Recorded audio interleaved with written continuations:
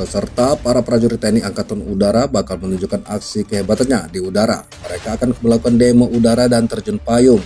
Tunjukkan itu dalam rangka memeriahkan hari ulang tahun Dirgahayu ke-78 Tentara Nasional Indonesia yang akan digelar di Monumen Nasional Jakarta Pusat. Saat ini terlihat para personel TNI Angkatan Udara beserta berbagai alutsista pesawat dan jahit tempurnya tiba di Terminal Selatan Lanun Halim Perdana Kusuma, Jakarta. Mereka mulai cek rote dan melakukan kesiapan latihan gladi tim demo udara. Diketahui pesawat berbagai jenis di antaranya KT-1B T-50I Golden Eagle, F-16, Boeing 737, dan berbagai pesawat lainnya akan melakukan take off dari Lanut Halim Perdana Kusuma, Jakarta. Sedangkan unsur C-130, CN-235, 295, dan unsur KASA 212 take off dari Lanut Hussein Sastra Negara. Sementara untuk unsur helikopter Trimatra, tiga angkatan yang membawa bendera raksasa take off dari Lanut Ateng Sanjaja Bogor. Sedangkan unsur helikopter dan Monaja TNI AL take off dari Pondok Cabe.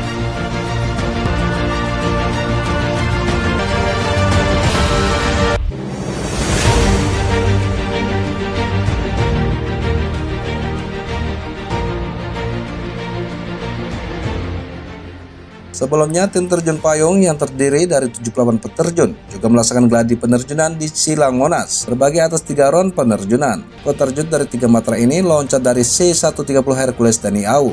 Sementara itu, tim demo udara akan melakukan bypass dan juga bom ras serta tikal show di Silang Monas.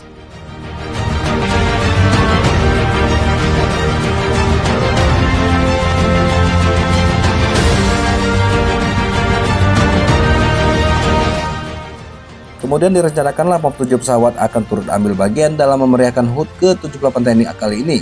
Masyarakat umum dipersilakan hadir di Monas untuk menyaksikan upacara HUT TNI dan demo udara.